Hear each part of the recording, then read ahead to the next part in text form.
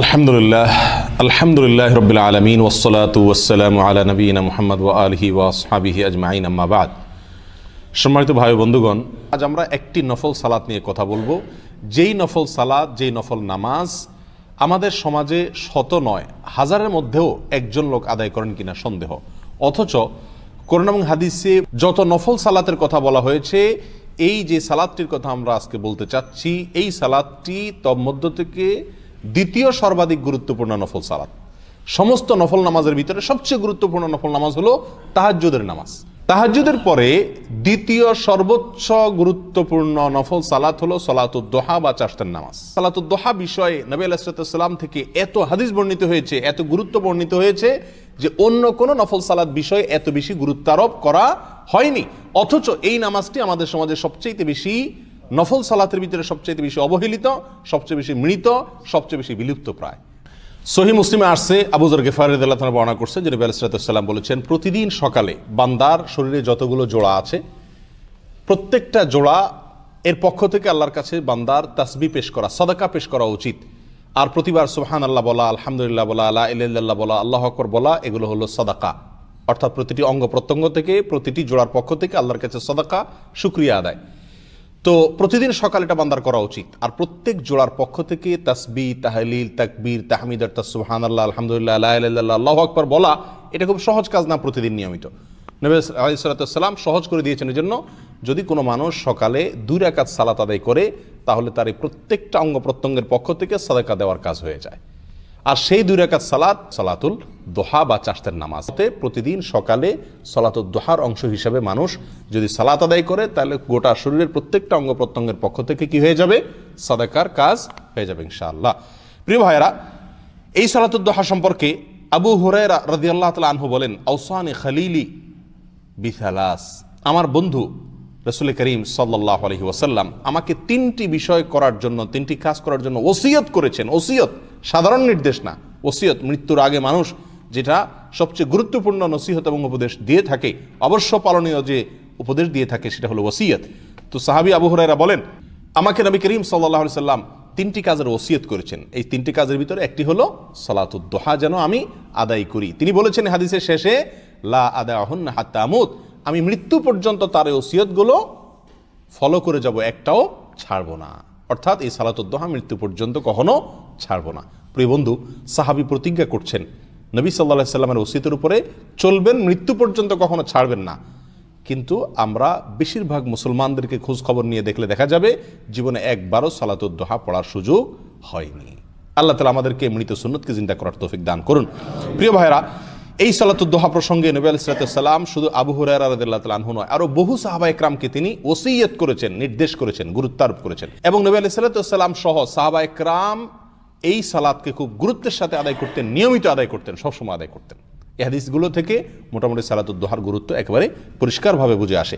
আবু হুরায়রা রাদি আল্লাহ তালা আনহু থেকে বর্ণিত আরেকটি হাদিস আসছে, যে হাদিসটি ইবনে খুজাইমাতে বর্ণিত হয়েছে। নবী আলাইসালাম বলেছেন লাইহাফিজ আলা সলাতুদ্দোহা ইল্লা আউয়াব সলাতুদ্দোহা এটাকে নিয়মিত আদায় করে যে সে হলেন আল্লাহর আউয়াব বান্দা।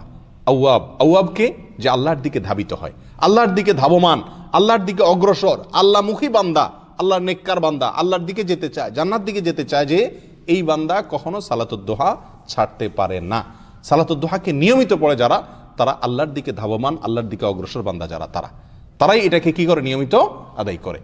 সহি মুসলিমের আরেকটি হাদিস আসছে আমাদান আয়সা রাদিল্লাহ তালাহা বর্ণনা করেছেন, নবী আলাইসালামের বিষয়ে তিনি বলতেছেন যে, কান রসুল্লাহ সাল্লাহ সাল্লাম ইউসাল্লি দোহা আর বান ওয়াসিদু মাশা আল্লাহ নবী আলাইসালাম সবসময় সালাতুদ্দোহা আদায় করতেন। চার রাকাত এবং তার চাইতে বেশিও তিনি আদায় করতেন।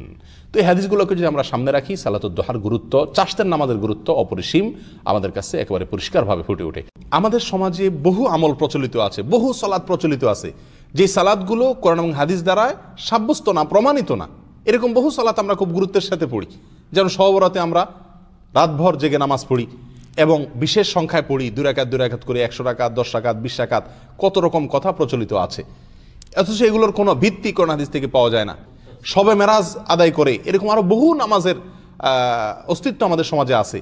যেগুলোর কোনো অস্তিত্ব কোরআন এবং হাদিসে নাই। কিন্তু এই সালাতু দোহার মতো গুরুত্বপূর্ণ সালাত, যেটা সম্পর্কে এমন কোন হাদিসের কিতাব নাই যেখানে পাওয়া যাচ্ছে না। এবং নবেল ইসরাতাম নিজে জীবনে ছাড়ছেন না। সাহাবা একরামকে গুরুত্ব আরোপ করছেন, ওসিয়ত করছেন।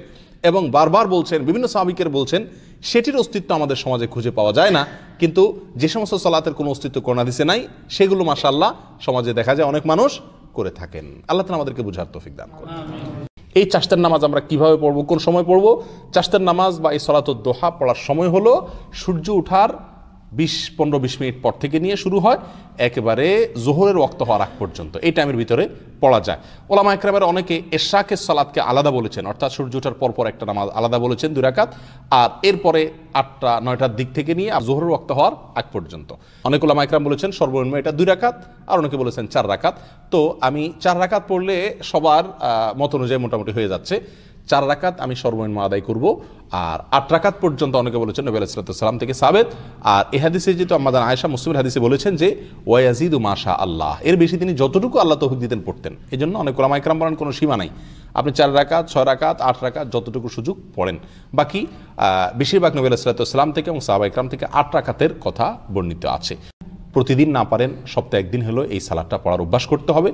সাধারণ সুরাকেরাত দিয়ে অন্য সালাতের মতোই পড়তে হবে এবং এই সালাদ যদি আমি পড়ার সুযোগ না পাই, আমার কর্মব্যস্ততার কারণে আমি চেষ্টা করলেও আমার যদি- দ্বারা যদি সম্ভব না হয়, অন্তত বন্ধের দিনে হলো একবার পড়ি, মাসে হলো একবার পড়ার চেষ্টা করি। নবী আলাইসালাম যেটাকে এত গুরুত্ব দিয়েছেন, ইসলামে যেটা দ্বিতীয় সর্বোচ্চ গুরুত্বপূর্ণ নফল সালাদ, সেটা আমি জীবনে একবার আদায় করব না, মাসে একবার আদায় করব না। এটা নবী আলাইসালামের সুন্নতের প্রতি অবহেলা, অবিচার ছাড়া আর কিছু না। এই জন্য ভাই প্রতিজ্ঞা করি, চেষ্টা করি। আর যদি নিজে আমল করতে না পারি, এই আলোচনাটাকে ছড়িয়ে দেওয়ার চেষ্টা করি, এই মাসালাটাকে এই বিষয়টাকে ছড়িয়ে দেওয়ার চেষ্টা করি, অন্যের মধ্যে প্রচার করবার চেষ্টা করি, যাতে অন্যরা আমল করতে পারে। আমার প্রচারের মাধ্যমে যদি কেউ আমল করে, তো নবী আলাইসালামের হাদিসের আলোকে তার আমলের কারণে যে সব সে পাবে, তার সমপরিমাণ সব আল্লাহ তালা আমাকেও দিবেন।